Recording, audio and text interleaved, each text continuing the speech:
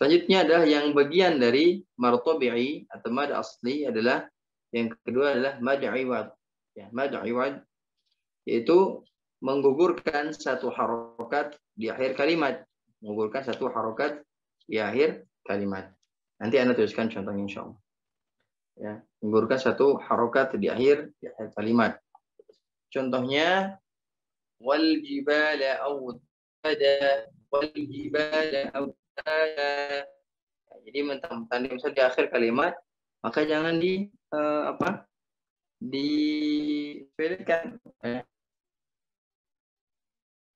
Fi jidha wa fi dinillahi afwaja fi dinillahi afwaja harokat dengan afwaja afwaja ya panjangkan.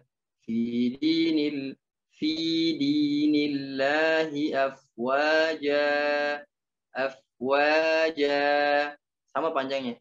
Fi di panjang nillahi ya fi dinil fi di fi dinillahi afwaja.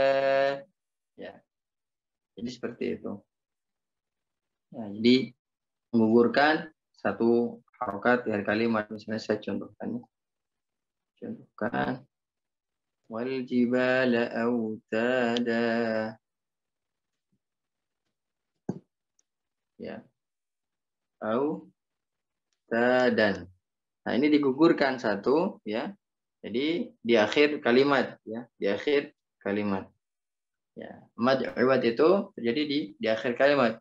والجبال أوتادا والجبال أوتادا jadi panjangnya adalah dua harokat waljibal waljibala autada tada sama ya ta ada matobi'inya ya dan dal juga ada matobi'inya tanya ada matobi'i dal ini ada alif sebelumnya ada ada alif di akhirnya maka ini di digugurkan satu auta dan jadi autada.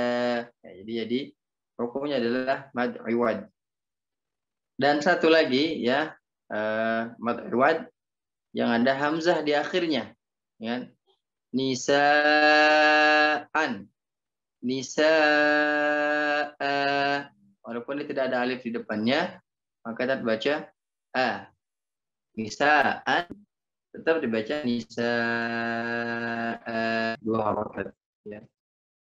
Contohnya tadi ya inna sattaqu rabbakum alladhi khalaqakum min nafsin wahidah wa khalaqa minha zawjaha wa minhuma rijalan katsiran wa nisaa wa nisaa jadi dibaca dua harokat. Ada iwan dan misalnya ada dua ada dua ada tanwin misalnya ada tak marfutoh di akhirnya maka dibaca jadi uh, hak dhamir. Misalnya tak marfutoh itu tak yang bulat gini, bulat. Ya berarti hak dhamir walaupun dia tanwin baca hak dhamir. Baik, itu itu yang mad'u. Itu yang mad'u.